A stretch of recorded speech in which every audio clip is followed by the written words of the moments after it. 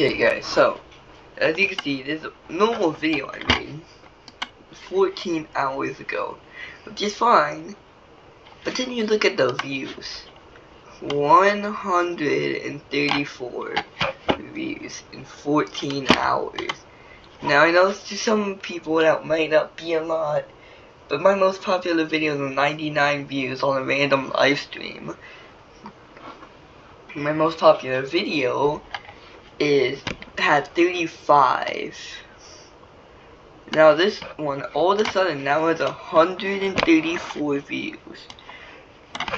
Now, I don't know if these are bots, if, if they are YouTube, please, if you could find if they're bots or not.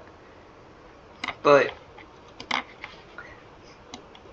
I, I don't know. I just don't know what to say.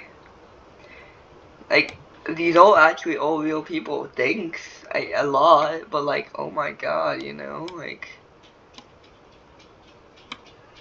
But yeah, that's it. I just want to bring that up. Bye. It's weird.